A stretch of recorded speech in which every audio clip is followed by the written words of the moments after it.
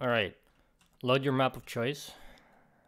Uh, the your map that you want to zone. It says no zones found because there's no zones. Escape, options, keyboard, advanced, enable developer console. Is it if it isn't already enabled? Then press the tilde key that's above the tab to the left of one below escape. You can find it. Um, and do exec zone edit. And uh, zone editing is in a pre-alpha. Yeah, whatever. Uh, and there you go. Now you've got this 3D cursor used for zoning. T is practice mode, so use that. Uh, then I'm gonna say that this looks like a mighty fine place to zone. I'm just gonna start it like there.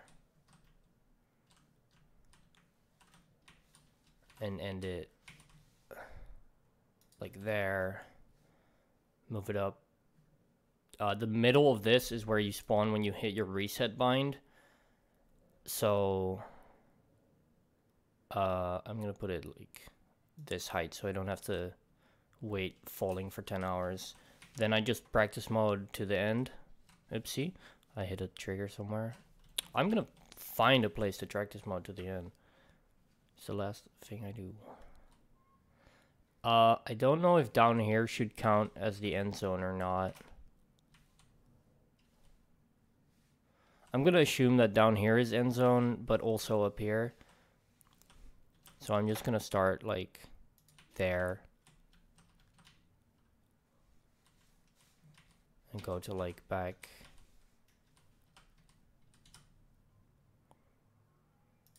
Here. And then go up.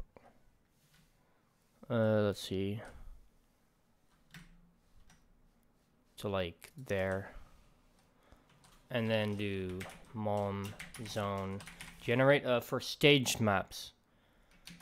You should uh, put a zone at the start of every stage and then one at the end. That's that's all you have to do. You don't have to like type anything extra in the console as far as I know. So mom zone generate. And that that creates the zone file. Then SV cheats zero because the the um, zone edit config turns cheats on in order to work.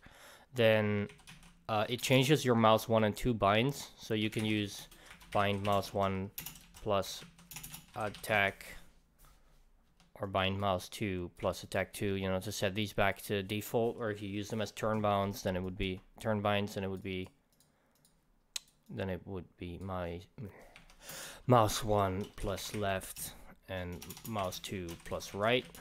I just have an auto exec for that. Um, and then reload to reload the map because cheats were on in the map at some point. Therefore, uh, you can't use the zones. Okay, but uh, I turned turned off cheats and then reloaded the map, and there you go. Now it says start zone. The start starts, and that's pretty good.